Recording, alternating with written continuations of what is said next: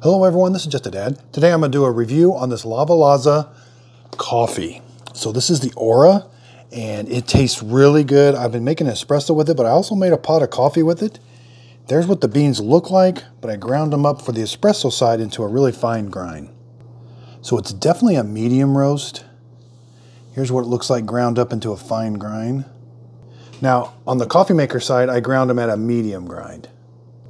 Okay, so I'm not able to drink, so an espresso, I'm not able to drink it. I do have to make a latte with it, and it tasted really good. It's a dark, strong, what I say it's a dark coffee, but it's only a five out of a 10, and it definitely reminds me of a medium roast, but boy, does it have kind of a rich flavor to it. It is a little bit of sweetness to it.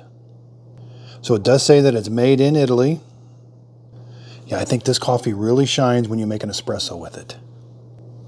So I do have to mix a little bit of cream and sugar when I drink it straight black coffee. Yeah, it's got a rich, um, again, kind of a bold, dark flavor to it, but it looks like a medium roast. So I hope this video helps. Thanks everybody for watching.